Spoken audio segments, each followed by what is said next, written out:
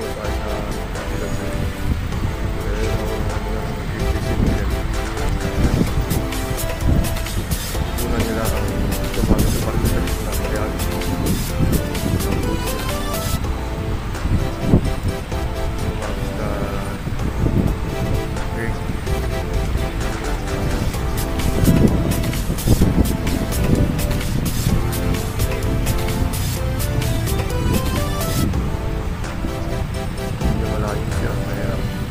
ulan.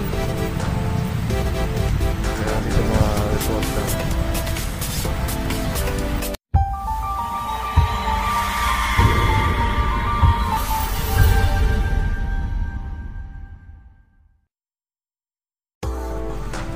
Tingnan rin ko yan.